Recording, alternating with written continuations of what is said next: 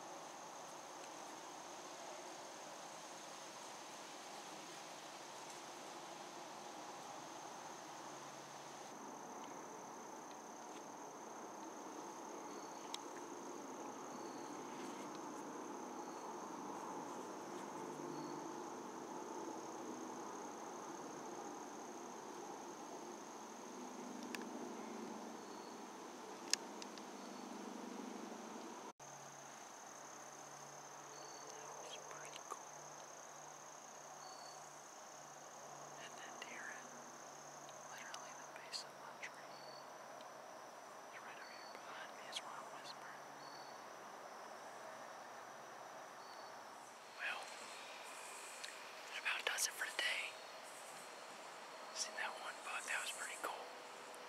He made a he made a scrape right down here, and then I had dropped a bag of apples that I brought in here. I was gonna throw out when I got up here in the stand, and I dropped it when I had two or three apples in it, and he started eating out of the bag. I hope I got that on film, but I don't know if I did or not. That was pretty cool though. He kind of surprised me that he got that close.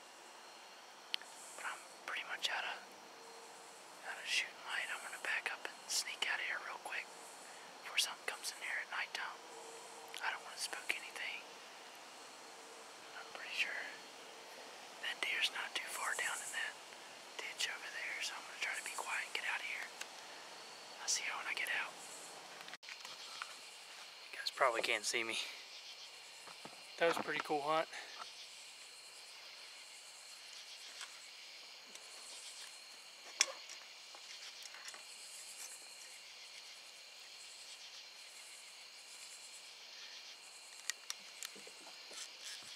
To. Well, didn't get it done, but seen a deer. Got in the woods, seen where I needed to, to fix things. Wind was a little crazy today, so I don't know, that probably messed with things a little bit. Um, the deer was making a rub, I mean a scrape, that was pretty cool. So, we'll see how it goes. Um, I'm gonna get out of here, get some food, I'm hungry. I guess stay tuned to the next episode. See ya.